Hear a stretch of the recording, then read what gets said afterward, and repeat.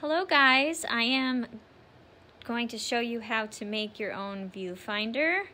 Um, I have this, I'll turn it over so it's not so shiny. I have four strips of paper.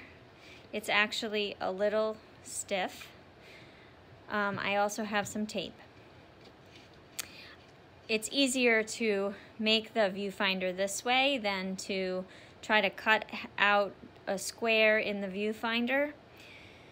So you're going to take your four strips and you're just going to line them up to make a rectangle.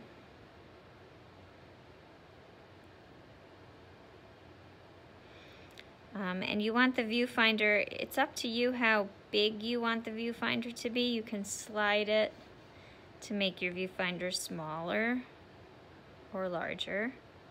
And once you get it lined up, you're just going to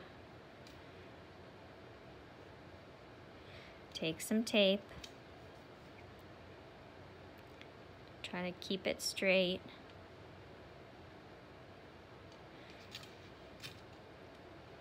and tape it down.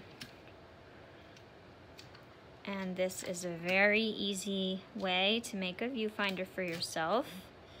And since we are going to be using viewfinders today, um, this will be good. So make sure you tape down everything. Anything that's floppy, you can tape on the other side. You don't need anything great for this. You could use cardboard. You could use um, cardstock, anything that you can find, and this is a perfect viewfinder.